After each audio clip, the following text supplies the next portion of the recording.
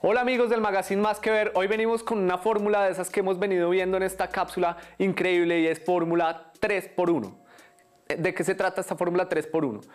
Por cada cosa negativa que usted piense, traiga tres cosas positivas. ¿Esto cómo funciona? Muchas veces nuestra mente es más dada a pensar en lo negativo. Vean nada más una escena típica en Bogotá o en Latinoamérica porque pasa a nivel región. Vamos por una vía vemos un accidente y lo primero que empezamos a mirar es, ay, ¿será que no pasó? ¿Será que hay alguien por ahí botado? Ay, ¿será que hay muertos? Nos fijamos en si hay muertos antes de decir, oiga, vengan que puedo ayudar o, bueno, es un accidente normal. Siempre estamos pensando en las cosas negativas. La mente tiende a irse hacia allá porque es más fácil para ella. Así que a ponerle riendas y cada vez que se aflora un pensamiento negativo, seamos conscientes, es que el tema es de ser consciente todo el tiempo, seamos conscientes y pongamos el peso mayor de tres cosas positivas que tengamos en la mente.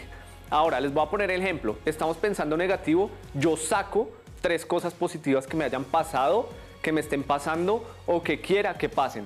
Es muy importante jugar este juego porque usted elimina rápidamente ese pensamiento negativo. Pensamientos positivos que me hayan pasado, el viaje en que estuve, eh, la salida con mis amigos, eh, mi perro, mi gato. Esas cosas son tres pesos importantes que son positivos y que anulan ese peso negativo que puede estar existiendo. Lo bueno de esta metodología es que usted convierte esta fórmula 3 por 1 en un hábito positivo es convertir hábitos negativos en hábitos positivos y créame, créame, esto es poder puro, esto es magia pura, el poder quitar un pensamiento negativo con tres poderosos lo va a hacer acostumbrar a usted a que siempre su mente va a estar pensando positivo. Claramente hay personas que me dicen, ah, no, tan chévere, y entonces usted no tiene problemas. Claro, todos tenemos problemas día a día.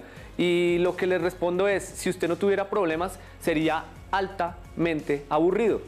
Mucho, porque los problemas que nos permiten venir, analizar, tomar decisión y actuar. Y cuando usted sale del problema, que lo hemos hablado acá, en donde a veces vemos los problemas chicos como grandes y los grandes como chicos, es importante que cuando solucionamos un problema nos llega esa satisfacción que nuevamente les digo es combustible para la felicidad y para el desarrollo humano.